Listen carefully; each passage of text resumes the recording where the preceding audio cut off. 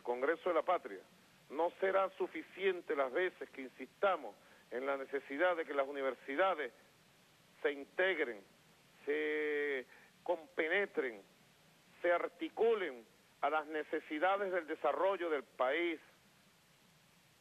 Esa es la tarea central del Congreso de la Patria, diría yo. Si ustedes me preguntaran cuál es la actividad fundamental, bueno, lo acabo de decir, defender el derecho a la educación pública gratuita de calidad y ejercer plenamente ese derecho en todas sus facultades constitucionales como derecho humano. Ah, pero en términos concretos, ¿cómo se traduce eso? Se traduce en que las universidades, los estudiantes, los profesionales que se gradúan, los profesores, los obreros, los trabajadores, todos se integren al desarrollo de eh, la patria, al plan de la patria.